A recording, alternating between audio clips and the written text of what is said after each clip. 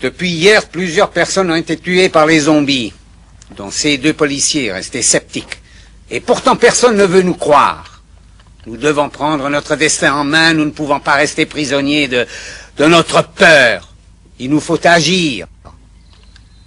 À la tombée de la nuit, nous leur tendrons une embuscade. C'est notre ultime chance pour nous débarrasser d'eux pour toujours. Allez préparez vos fusils. Nous les attendrons à l'entrée du village. Je suis sûr qu'ils repasseront par là. On va pas se laisser faire. Oh, Lisola, finissons-en Vous avez raison, oui. On va s'en débarrasser. Maintenant, ça suffit. Moi, je viendrai.